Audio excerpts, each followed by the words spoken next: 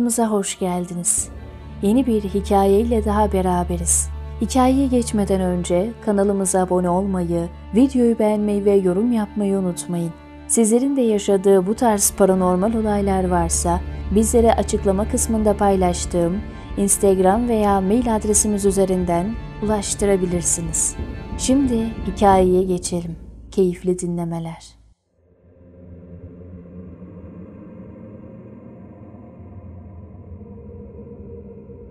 Merhaba Hikaye Saati. Size anlatacağım olay bir aile sırrı. Bunu pek fazla kişiye anlatmayız. Çünkü hatırlamak bile bizi ürkütür. Bu olayın etkileri hala devam ediyor. Şimdi hikayemi anlatmaya başlıyorum. Bundan 15 sene kadar önceydi.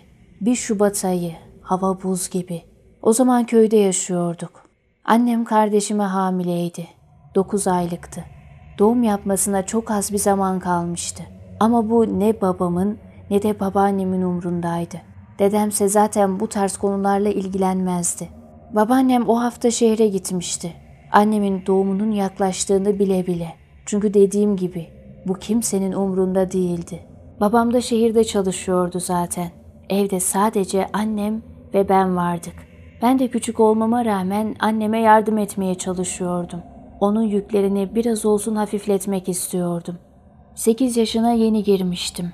Küçücük boyumla koca bir kovayı odunla doldurup getirdim. Sobayı yaktım. Üzerine dünden kalan yemekleri koydum ve ısıttım. Annemle beraber yemeğimizi yedik. Daha sofradan kalkmadan annemin sancıları başladı. Bunun her zamanki ağrılardan olduğunu düşündüm. Çünkü sık sık bu durumu yaşıyordu. Fakat bu seferki biraz daha farklıydı. Geçmesini beklediğimiz kramplar bir türlü geçmiyordu. Galiba annem doğum yapacaktı. Annem dışarı çıkıp yardım çağırmamı söyledi. Koşa koşa dışarı çıktım. Eskiden çok kar yağardı, şimdi böyle değil. Diz kapaklarıma kadar kara gömüldüm. Neredeyse adım atmakta zorlanıyordum. Bağırmaya başladım, yardım edin diye. Bize en yakın ev 100-150 metre ötedeydi. Sesimi bir türlü duyuramıyordum. Kar o kadar fazlaydı ki daha fazla adım da atamıyordum. Bilirsiniz kar yağdığı zaman sesi içine çeker. Sesimi duyuramadım. Ne yaptıysam başaramadım. Geri koşarak eve döndüm. Annem yatağına uzanmıştı. Acı içinde kıvranıyordu. Alnından damla damla terler akıyordu. Çocuktum, küçüktüm, hiçbir şey bilmiyordum. Gidip içeriden bir bez getirdim. Annemin terlerini sildim. Sonra bir bardak su.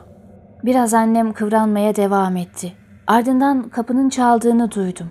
Çok şükür dedim. Çok şükür birileri geldi. Anneme yardım edecekler. Kapıyı açtığımda karşımda üç tane kadın gördüm. Elleri ve yüzleri kapalıydı. Onları tanıyamadım önce. İçeri girip hemen yüzlerini açtılar. Bunlar yakınlardaki komşularımızdı. Annem içeride çok kötü dedim. Hemen annemin yanına gittiler ve beni odadan çıkardılar. Çok geçmeden bir çocuk ağlaması sesi duydum. Kardeşim doğmuştu. Hemen içeri girdim. Kadınlar annemle ilgileniyordu. Annemin kıyafetlerini giydirdiler, etrafı topladılar ve kardeşimin de üzerine giydirdiler. Sonra da hayırlı uğurlu olsun deyip evden çıktılar. Akşama doğru babaannem geldi. Annem ona çok öfkeliydi. Bu halde onu bırakıp gittiği için. Tabii ben de çok öfkeliydim. Babaannemle hiç konuşmadım. İçeri girdiğinde kardeşimi gördü. Doğdu mu dedi. Doğdu tabii. Sen neredeydin babaanne? Annemin doğum yapacağını biliyordun. Neden gittin şehre dedim. Öfkem bir türlü geçmiyordu. Anneme bir şey olacak diye çok korkmuştum çünkü. Ne var kızım? Sadece o mu doğuruyor? Biz de böyle doğurduk. Bak bana, yedi tane çocuk doğurdum. Annenin bu sadece ikinci. Ne var bunda? Kim geldi yardıma diye sordu. Gelen komşularımızın isimlerini söyledim. Ben bir gideyim de teşekkür edeyim dedi. Evden çıktı. Daha anneme nasılsın diye bile sormamıştı. Bu benim bile dikkatimi çekmişti. Beş dakika geçmeden geri eve döndü.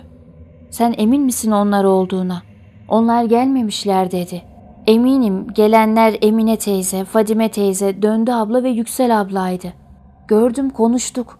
İnanmıyorsan anneme sor dedim. Anneme sordu. O da aynı isimleri söyledi. Ama onlar bugün hiç bize uğramadıklarını söylemişler. Şaşkındım. Böyle bir şey olamazdı. Aradan bir ay gibi bir zaman geçmişti. Bu saydığım komşular bize geldiler oturmaya. Tabi bebeği de görmeye. Annem onlar geldiğinde tekrar teşekkür etti. Allah razı olsun sizden. Siz olmasanız ne yapardım dedi. Kadınlar yine şaşkındı. Biz değildik valla. Kayınvaliden de söyledi aynı şeyi. Ama biz değildik ki. Hem ben ne anlarım çocuk doğurtmaktan.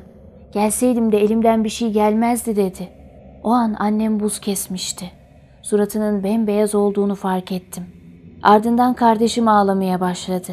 Onu kucağıma aldım ve sobanın önüne oturdum. Kardeşimi de kendimi de ısıtıyordum. Kadınlar biraz daha durup gittiler. Bu olay bu şekilde kalmıştı. O zamanlar dediğim gibi çok küçüktüm ve olanlara anlam veremiyordum. Şimdi anlıyorum tabii. Annem o zaman da anlamıştı. Gelenler komşularımız değildi. Gelenler insan bile değildi. Kardeşimin kırkı çıktıktan sonra bazı gariplikler yaşandı. Kardeşim gündüzleri rahattı ama geceleri inanılmaz bir şekilde ağlıyordu. Evdeki kimseyi uyutmuyordu sesi. Canı yanmış gibi bağırırdı. Ben kucağıma alırdım, babaannem alırdı, dedem alırdı, annem alırdı ama kardeşim hiç susmazdı. Sabahlara kadar sadece ağlardı. Ne zamanki güneş doğar, o zaman uykuya dalardı. Bir gün şöyle bir olay yaşandı. İçeriye girdim. Annem kardeşimin üzerine kalın bir şeyler giydiriyordu ve onu bir battaniyeye sarıyordu. Nereye götürüyorsun onu dedim. Dışarı götüreceğim komşuya. Sonra geri geleceğim dedi. Hava buz gibi anne ne komşusu kime gideceksin ben de geleyim dedim. Sen kal. Yemekleri ısıt. Sobaya da biraz odun getir dedi. Peki dedim. Ardından evin içinden tıkırtılar duydum. Sesin nereden geldiğini anlamak için arkama döndüm. Sonra annem alelacele çocuğu kucağıma tutuşturdu. Tut bunu çabuk. Ben şimdi gelip alacağım dedi. Kardeşimi kucağıma aldım. Bir taraftan da evin içinden tıkırtılar gelmeye devam ediyordu. Evde kimse olmadığına göre bu seslerin sebebi neydi? Kardeşim kucağımda ilerlemeye başladım. Mutfak kapısının önüne geldim. Çünkü sesler buradan geliyordu. Tabak sesleri, bardak sesleri. Birisi mutfakta yemek hazırlıyor gibi. Kapıyı yavaşça açmaya başladım. Bir gıcırtı çıktı. Karşımda annemi gördüm. Annem yemek hazırlıyordu. O anda kardeşim de kucağımdayken bayılmışım. Kardeşimin ağlama sesleriyle açtım gözümü. Ortalığı yıkıyordu resmen. Annemse hem kardeşimi kucağında sallıyor hem de benim için dualar okuyordu. Ne oldu bana dedim. Bilmiyorum kızım. Kucağında kardeşinle mutfağa geldin. Sonra da bayıldın. Acıktın mı? Tansiyonun mu düştü dedi. Sonra yavaş yavaş olayı hatırlamaya başladım. Anneme anlattım. Çok korkmuştu. Sonra babaanneme anlattım. Babaannem korkmak yerine öfkelenmişti. Tabii büyücü kadının kızını gelin diye alırsan olacağı bu işte dedi. Kim büyücü dedim. Kim olacak? Anneannen olacak o kadın. Kakaladı deli kızını başıma. Şimdi de biz çekeceğiz çilesini dedi. Hemen annemin yanına gittim. Anne dedim büyü ne demek? Büyücü ne demek? Anneannem büyücü müydü? Yani sihir mi yapardı? Hayır kızım dedi babaannen yalan söylüyor. Anneannen asla öyle birisi değil. Büyü yapmak haramdır. Anneannen de bunu çok iyi bilir. Biz böyle bir şey yapmayız dedi. Babaannemin neden böyle bir şey söylediğini düşünüyordum. Neden anneanneme böyle bir iftira atmıştı ki? Aradan bir seneye yakın bir zaman geçti. Kardeşim biraz daha büyümüştü. Onu kucağıma alıp dışarı çıkarıyordum. Ağacın altına bir battaniye serip üzerinde birlikte oyun oynuyorduk. Ona kendi çocuğummuş gibi bakıyordum. Ben onun ablası değil, sanki ikinci annesiydim. O kadar çok ilgilenirdim onunla. Altını değiştirirdim, banyosuna yardım ederdim. Bir gün babaannem sebzelerimizi toplamıştı. Şehre pazara götürecekti ve orada satacaktı. Annem, kardeşim ve ben köyde kalacaktık. Zaten hep böyle oluyordu. Hiçbir zaman bana sen de gel dememiştir. O zamana kadar köyden dışarı hiç çıkmamıştım.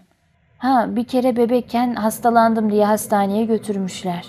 Ama onun dışında hiç gitmemiştim. Çok merak ederdim merkezi.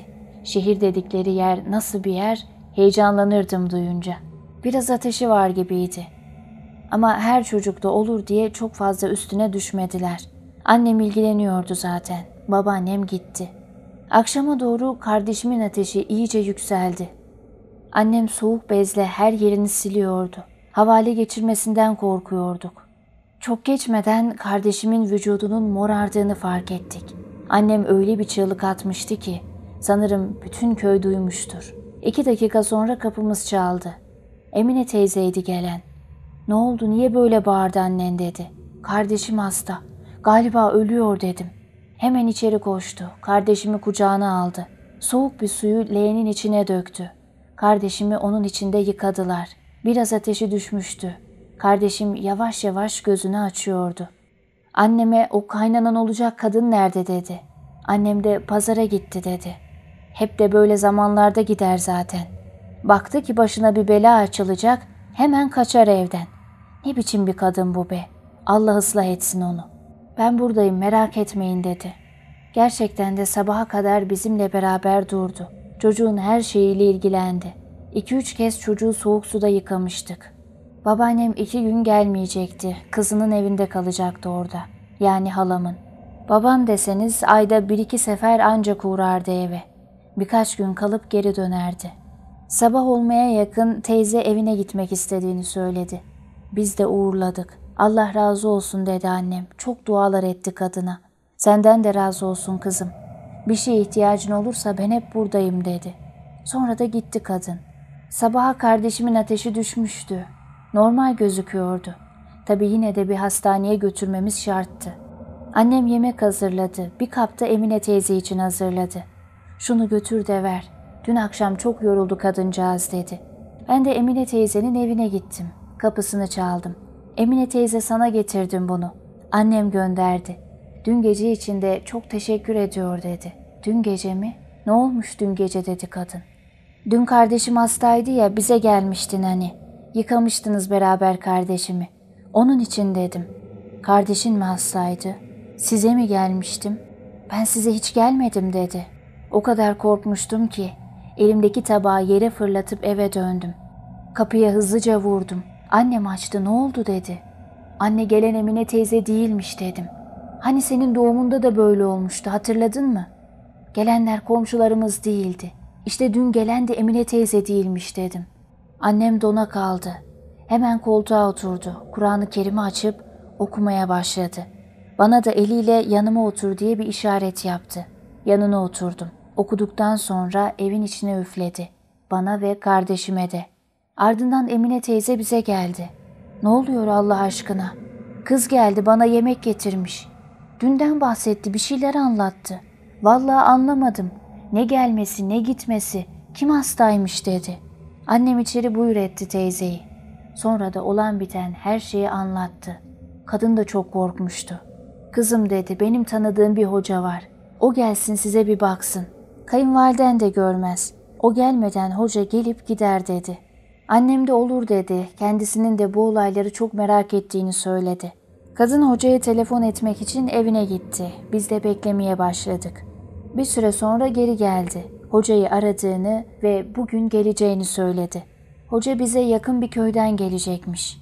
Biz de beklemeye başladık. Akşam üstüne doğruydu. Hoca geldi. Emine teyzeyle birlikte gelmişlerdi. İçeri geçtiler. Uzun uzun eve baktı hoca. Sonra da kardeşime. Kardeşimi kucağına aldı, biraz sevdi. Geçmiş olsun bacım dedi. Sağ olun hocam dedi annem. Ve doğumundan beri yaşadıklarını söyledi. Hoca annemi iyice dinledi. Sonra bu köyde yıllardır Müslüman cinlerin yaşadığını söyledi. Müslüman cinlerin kimseye zararının olmayacağı, aksine böyle durumlarda faydası olacağını söyledi. Annemi doğum yaparken çok çaresiz görmüşler. Bu yüzden yardım etmek için gelmişler. Kardeşim hastalandığında da aynı şekilde. Bizim yalnız ve çaresiz olduğumuzu bilip yardım etmek istemişler. Sonra ben olay anlattım hocaya. Hocam dedim, annemin kılığında birini gördüm. Kardeşim onun kucağındaydı. Evden götürecekti. Sonra bir anda da kayboldu. Annemse mutfaktan çıktı dedim. Çocuğu doğurtan onlar olunca aralarından çocuğu sahiplenenler de olmuş tabii. Alıp götürmek istemişler. Kendileri bakıp büyütmek istemişler. Ama aynı kabileden diğer cinler buna müsaade etmemiş dedi. Yani Müslüman bile olsalar onlar da yanlış şeyler yapıp yanlış düşüncelere girebiliyorlar. Neyse ki diğer cinler buna müsaade etmemiş de kardeşim son anda kurtulmuş. Kimseye muska yazmadı hoca. Çünkü muskaya gerek olmadığını, onların bu saatten sonra sadece yardım edeceklerini söyledi. Biz yine de korkuyorduk. Bu evde bizimle mi yaşıyorlar diye sordu annem. Hayır dedi. Sizin evinizde yaşamıyorlar. Ama size çok yakınlar. Bahçenizdeler. Ağaçlarınızın altındalar. Sizi duyacak, sizi görecek mesafedeler. Ama endişe edip korkmanıza hiç gerek yok dedi. Bu hoca olayından babaanneme hiç bahsetmedik bile. Belki kızardı kendince, ne diyeceği belli olmazdı. Belki sen büyü yaptırmak için çağırdın bile diyebilirdi. Anneanneme iftira atan anneme de atar çünkü. O yüzden bilmemesinde fayda var dedik. Ne ben ne de annem ne de Emine teyze asla bunu söylemedik. Ondan yıllar yıllar sonra biz de şehre taşındık. Artık şehirdeki okula gidiyordum. Kardeşim de büyümüştü. Şimdi kardeşim de genç kız oldu artık. Ama onda inanılmaz bir enerji hissediyorum. Nasıl desem, nasıl anlatsam bilemiyorum. Bir insanın her dediği, her istediği nasıl olabilir? Canım çikolatalı pasta istedi demişti bir gün. Çok geçmeden bir komşumuz zilimize bastı. Çikolatalı pasta getirmiş. Çocuğunun doğum günüymüş. Kardeşimi herkes sever. En sert insanlar bile onu görünce gülümser. Kazalardan, belalardan da mucizevi bir şekilde kurtuluyor. Mesela okulda tahtaya kalkmasını istemiş öğretmen. Kardeşim normalde hiç böyle bir şey yapmaz ama kalkmak istemiyorum demiş. Neden demiş öğretmeni. Çalışmadın mı yoksa? Hayır demiş çalıştım ama kalkmak istemiyorum. Bana buradan sorun ne soracaksanız. Öğretmeni de tamam demiş çok üstelememiş. Öğretmeninin sorduğu soruyu cevapladığı esnada tahta güm diye sınıfın ortasına düşmüş. Yani kardeşim tahtaya kalkmış olsa üstüne düşecekmiş. O gün bunu arkadaşları anlattı bana. Ben de kardeşime sordum. Peki nereden anladın tahtanın düşeceğini? Nasıl hissettin dedim. Bilmiyorum içimden bir ses kalkma dedi. Ben de kalkmadım. Kalkınca kötü bir şey olacağını hissettim. Ne olacağını bilmiyordum. Yine de kalkmadım dedi. Böyle yaşadığı çok fazla mucize var. Aynı cinlerin onu koruduğunu düşünüyoruz. Annem de ben de bu konuda hemfikiriz. Kardeşime olanları hiçbir zaman anlatmadık. İleride anlatmayı düşünüyoruz. Ama şimdi zamanı değil. Beni dinleyen herkese teşekkür ederim.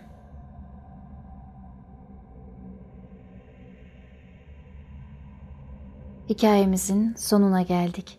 Hikayesini paylaşan kişiye teşekkür ediyorum. Bir sonraki hikayede buluşuncaya dek hoşçakalın.